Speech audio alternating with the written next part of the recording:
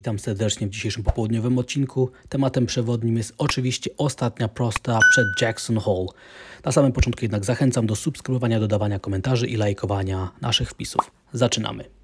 Ostatnia prosta przed Jackson Hole, czyli co słychać na rynku przed tym, jak o godzinie 16 zaczynają, zaczną spływać do nas informacje z tego spotkania bankierów centralnych. To wydarzenie jest dzisiaj kluczowe, oczywiście ma najważniejsze, będzie miało największy wpływ na rynki finansowe w końcówce tego miesiąca i myślę, że może mieć przełomowe znaczenie dla perspektyw globalnych banków centralnych. Ale na samym początku warto wspomnieć o tym, że pojawia się seria wypowiedzi członków Fedu, E, na temat tego, że oczekują, że będziemy świadkami, że trzeba rozpocząć taper, czyli ograniczanie skupu aktywów.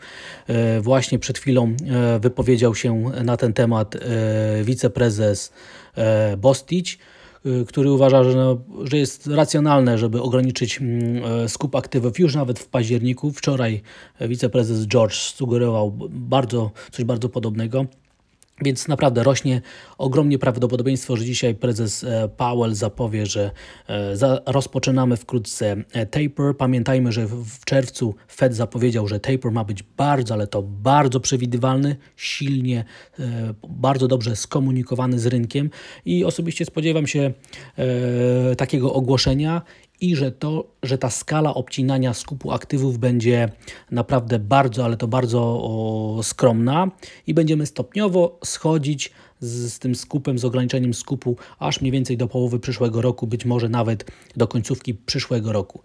I moim zdaniem ten scenariusz jest bazowym. Na dzisiejszy wieczór każde odchylenie moim zdaniem od tego scenariusza powinno być zaskoczeniem i negatywnie wpływać na a, rynki finansowe, zwłaszcza bo w momencie robienia tego wpisu wciąż nie, wiem, nie wiemy, jaka jest inflacja PCE w Stanach Zjednoczonych. Dzisiaj o godzinie 14.30 zostaną publikowane te dane. One są kluczowe, ponieważ Fed szczególną wagę przywiązuje do inflacji PCE. Każdy jej dodatkowy wzrost e, będzie zwiększał szanse na to, że dzisiaj prezes Powell zapowie taper. We wrześniu będzie to oficjalnie ogłoszone, a mm, rozpocznie się e, w październiku i e, zobaczymy, jaki będzie wpływ tego na rynki finansowe. Gdyby się okazało, że ten scenariusz bazowy, o którym napisałem, nie jest e, realizowany, czyli dzisiaj nie ma żadnego ogłoszenia skupu aktywów, to myślę, że oczywiście rynki finansowe zareagują szczególnie. E, umocnią się amerykańskie obligacje, czyli rentowności spadną, wrócimy pod poziom 1,31 i amerykański dolar będzie miał paliwo do tego, żeby rozpocząć jakąś korektę wzrostową, na co ma wielką ochotę. Ale moim, moim zdaniem sugestie dotyczące taper się pojawią, czyli e, myślę, że amerykańskie obligacje pójdą w górę na rentowności, czyli ceny będą dalej spadać. Utrzymamy poziom 1,31 na zamknięciu świecy tygodniowej. To będzie zachęta ku temu, żeby wieścić kolejne spadki cen obligacji amerykańskich, czyli wzrosty rentowności.